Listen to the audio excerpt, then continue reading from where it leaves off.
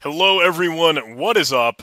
My name is John Hammond and welcome back. This video is actually a, a hundred times speed time lapse of the, the HackUConn uh, event that I went to this this past weekend. So HackUConn is an event at the University of Connecticut and it's a hackathon. And we have never been to a hackathon, like myself and my team and the, the crew that I go to school with here. We've never been to a hackathon before.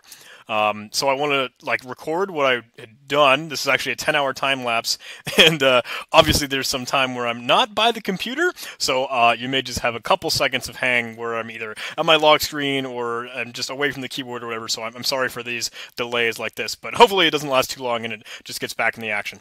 So uh, we've never been to a hackathon before. Um, we are pretty much like a cyber team, like a cyber security team. So I'm more used to, we are more used to like traditional, like capture the flag, CTF style uh, games or competitions. So like a Jeopardy style game or attack defense game that are all like cybersecurity, attack, uh, like good and evil, stuff like that.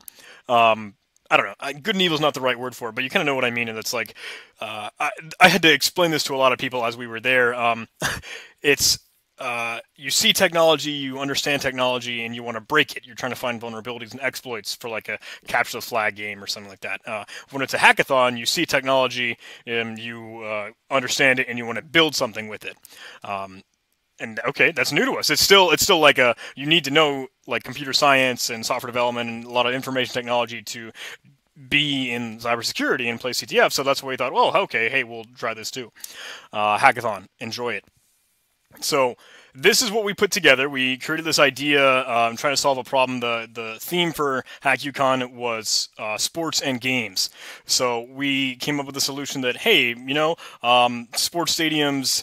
When you when if you as a fan go to a sports stadium, you want to get your food like to you as fast as possible. You don't want to wait in line, wait a half hour for a hot dog, and miss like half the half the game, all the highlights, whatever.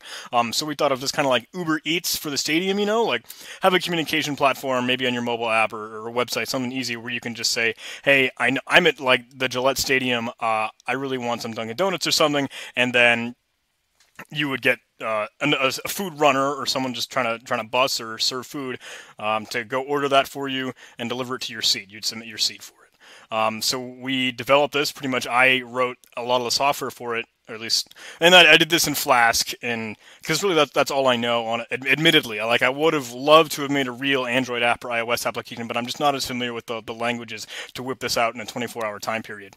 Um, so I just ran through building it uh, like this, and honestly, we were a little kind of disappointed and upset I'm sorry, I, I, hate feeling like a sore loser or stuff like that, but like obviously there were winners and it was a competition, and the people that had won, or when we were seeing everyone else's presentation, a lot of times it was more for the kind of the the entrepreneur business side of it, like the um, just trying to introduce a concept and talk about their idea and talk about how you would market it and stuff like that. But a lot of teams did not put the technology behind it. They didn't actually make it. Um, you'd show like, oh, here are some pictures of what we would expect to see for interface, but they don't put the pieces together or build anything for real. There were some that made some like serious stuff with like, uh, there were obviously Arduinos and, and stuff that they they encourage the hardware and like the real world physical aspect to it for kind of a hackathon that you're used to, embedded systems and stuff like that. They actually they wanted to provide Raspberry Pis, but uh, forgot the SD cards. So all, all the Raspberry Pis they had for us were pretty much null and void. And my team, we wanted to bring some of our own equipment, like a BeagleBone or Raspberry Pi, but we got there late, and it was just kind of a like off the cuff event. But whatever. So this is me trying to still run through it.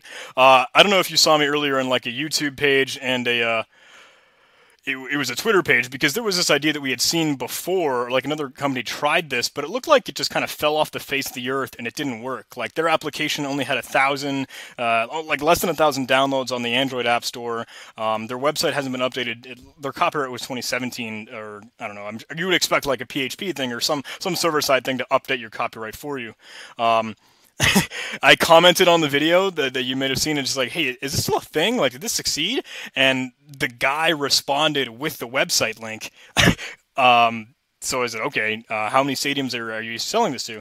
And I don't know if it, it, was actually a real question or not, whatever. You can see me doing some Arduino stuff right there. We actually try to integrate hardware, just seeing like, oh, are you physically in a seat? Is there a light sensor or something that you activate? And uh, we're trying to run through it.